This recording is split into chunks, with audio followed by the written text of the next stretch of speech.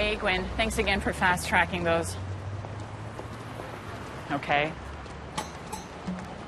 Wait, what? Hi, Carla.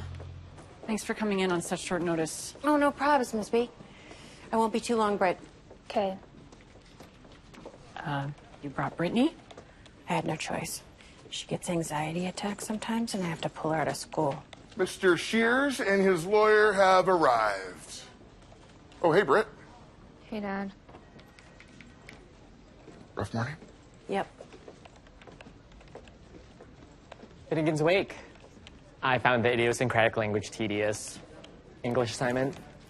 No. Pleasure. The results of your DNA tests came back. Dwayne is not Brittany's father. Guilty as charged. I'm not done. You're not Brittany's father, but Carla, you're not Brittany's mother. This makes no sense. You're definitely pregnant. You got as big as a barn. Thank you, Dwayne. Where was Brittany born? St. Patrick's. Walk me through it, you remember. It was a crazy night.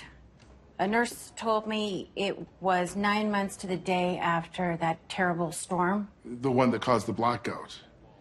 Couldn't watch wrestling, so, uh, Okay, fast forward to a mini baby boom. Um, four of us had to share a room.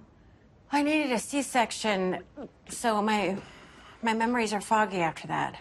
What do you remember, Dwayne? uh, Brittany and another baby were taken away to go under some lamp thingy because they were yellow. Uh, they were brought back a little while later. The other kid belonged to the lady, the one that was bitching because she paid for a private room. Oh, her, yeah. She didn't even want an epidural. What a dum dum. Okay, leave it with me, all right? We're gonna get to the bottom of this. Dwayne, we can't breathe a word of this to Brittany, eh? Not yet.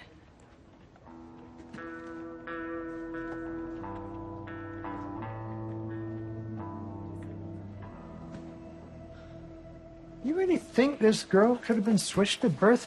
Can that even happen these days? There was a case recently out of Tennessee. If you get the perfect storm of understaffing, overwork, and incompetence, Cecil, I'll need you to subpoena the birth records and room assignments for the night Brittany was born. Yep. Sure thing, just as soon as I finish my sandwich. That poor girl. I've read about cases like this. The children often wind up feeling like they don't belong in either family. When I was a kid, I convinced myself I was switched at birth, and Tony Danza and Judith Light were my real parents. Who's the boss? A O O A. Does anyone here ever work? Harry. Harry, I just want to apologize for assuming the breakup was your fault.